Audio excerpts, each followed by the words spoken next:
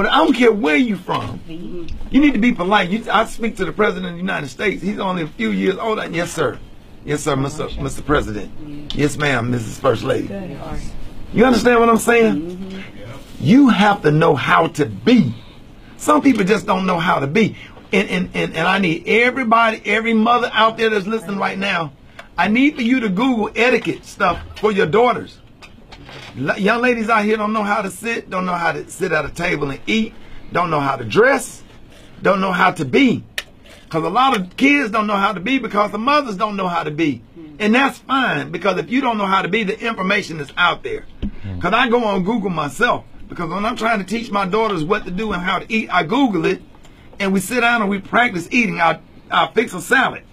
I said, let's practice eating properly, using proper table manners. That ain't the way white folks eat. That ain't the way white folks speak. That, that ain't mean you acting white. We talking about doing doing things the right way, getting out of your. I met a last, I met a dude last night. Lord Jesus, I wish I, I had his card in my pocket.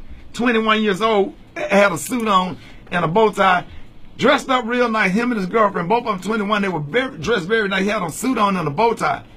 I said, well, why you dress up? He said, I have a bow tie business, but I did dress up because I thought that I was going to meet Mr. Rickey Smiley tonight. And he said, sir, it was a pleasure to meet you. I promise to God, if I had a position open, I would hire that young man on the spot. That young man reminded me of myself when me and George Fleming and all them dudes that was in Club Polo and Club CE, we was dressed up. We was trying to be something. We lived in the projects. We were getting dropped off in the project, but when you see us out, man, we had our suits on, them shirts and ties go to school dressed for success. Nobody knew where we came from. Nobody saw that long walk home in the project. You got to want to be something. You ain't got to be around like all the people in your environment. You don't have to be a product of your environment. Don't let the, hey, don't let what Reverend Jesse Jackson say. Uh, uh, uh, you don't have to let the projects live in you. Yeah, you live in the projects, but the projects don't have to live in you. Look how we be fighting at Chuck E. Cheese, fighting, fighting at somebody fighting at the cemetery, posting all these fights on Facebook and World Star, celebrating all this kind of stuff, celebrating guns and shooting folks. But you out there laid out, laying in the grass crying when somebody kills somebody in your family. Hmm. What are we doing? What are we doing? Ain't no decency, ain't no order. We just out of order. You can't blame the white man for this. You can't blame nobody for this. Can't blame nobody. It's you. It's your choice. At some point, hey, let, let me get into the psychological part. Cause we're talking. I'm gonna say this right here. I want y'all to listen to me real close. This is deep right here. You can sit up here and go to a counselor and say you're doing all this stuff because your daddy wasn't in your life, or your daddy dead, or your mama dead, or your mama was on crack, or your mama wasn't in your life. I had to stay with my grandmama. We ain't had this. We had, that ain't nothing but an excuse. Because guess what?